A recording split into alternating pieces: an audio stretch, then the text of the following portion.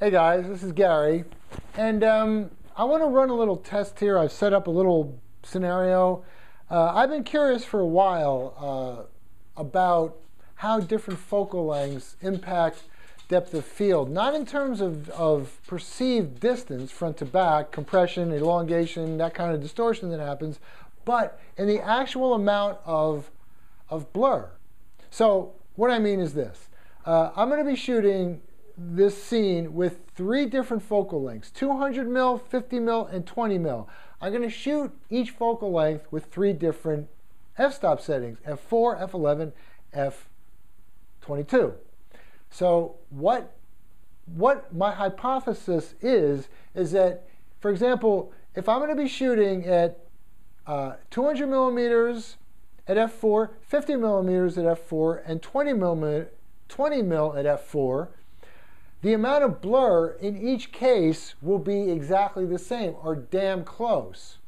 The reason I'm hypothesizing that is because the actual distance front to back between these two objects remains exactly the same in all three cases. The fact that the lenses distort front to back is on the lens, and I want to see how that actually affects the, the perceived size of the depth of field. And the best way to do that is to look at the background blur. So I'm going to be focusing on the front object, and I'm going to be shooting in the following way. When I'm shooting at 200, this front object gets focused on and it will dominate the right side of the frame. The top of the head and the bottom of the head will be at the top and the bottom of the frame, hopefully, okay? So I'll shoot that, as I said, with three different f-stops. Then when I go to 50, I gotta move in because I want the top of the head and the bottom of the head also to be at the top and bottom of the frame, okay? So that means I have to move in. At 20 mil, I'm gonna have to move in even more, actually a lot more, and then same deal, right? Now, in all three cases, what's going to change is the perceived distance of the back. At 200 mil, this is going to look really close. At 50 mil, farther away. At 20 mil, a lot farther away. All right, so that's the scenario. Uh, last thing, I'm shooting with flash. You know, I'm one flash to light the front, one flash to light the back. When I stop down my camera, I have to stop up my flashes in equal measure. So if I'm going to go from F4 to F11, that's three stops down on my camera, I have to stop up my flashes by three stops. These are all manual. I always shoot everything manual. Um, all right, and then we'll look at the results in Lightroom, and you know, it should be pretty easy to see uh, how the different focal lengths affect the background blur. All right, so here we go. Okay, here we are in Lightroom. Um, what you're looking at at the moment is the 20 millimeter at f4 and the 50 millimeter at f4. Okay, so you can see that at 20 millimeters there's a significant amount of distortion, especially front to back distortion. Look at how much farther away the rear object looks at 20 millimeters than at 50. But what I'm interested in is the amount of blur here as compared to here. So I'm going to zoom in to the chart and try and get that in the frame, something like that. And then I'll come over here and try and zoom in. Now, unfortunately, Lightroom uh, doesn't give me an exact zoom range for each one.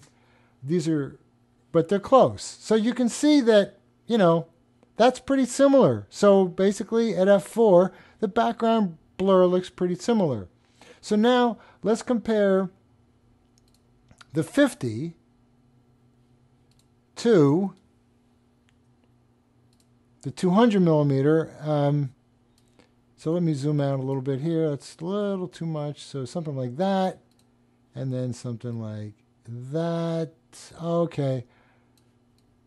So again, not an exact zoom match, but you know, these also look very similar. So, so far my hypothesis seems to be holding up. All right, but let's go back to F22 I'm sorry, F11 at 20 millimeters, and we'll zoom in to the chart, something like that. And then over here, we'll go to the 50 millimeter. So this is 20 millimeters at f11. This is 50 millimeters at f11. So I'll try and get these kind of close. It's going to be hard.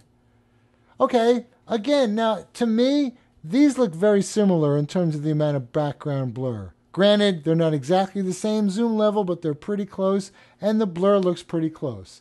So now I'm going to switch to the 50 millimeter lens on the left side, and then on the right side, we'll go with the 200 millimeter lens.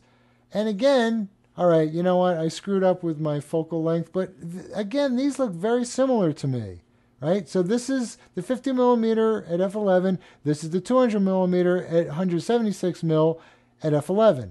Very similar results.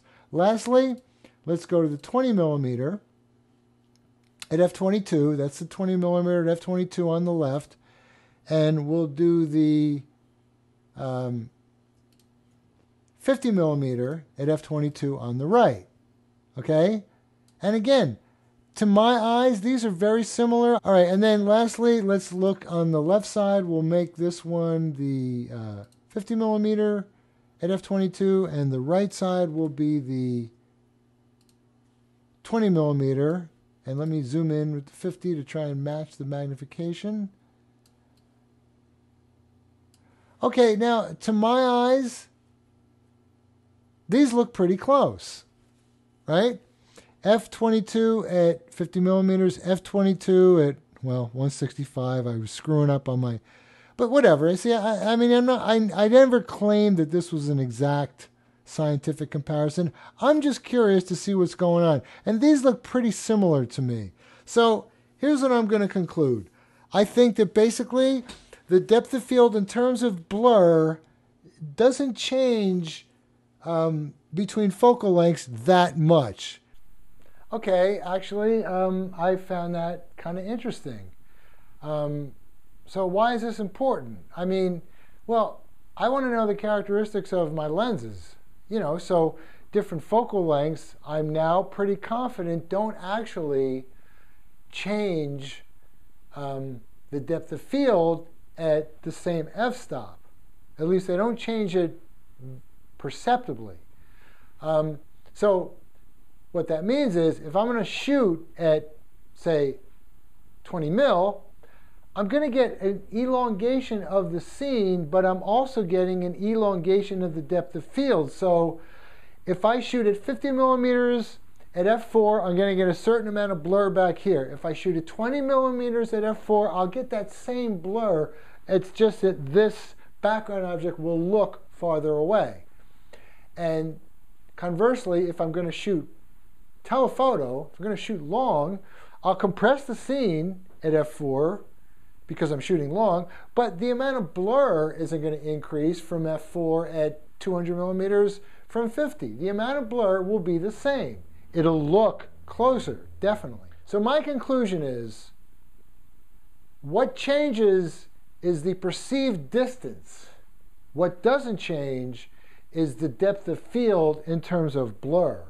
The depth of field does grow and shrink um, based on the focal length in terms of compression or elongation, but the amount of blur is exactly the same or very close to the same at the same f-stop at different focal lengths. So that's interesting. All right, whatever. This is Gary. See you next time.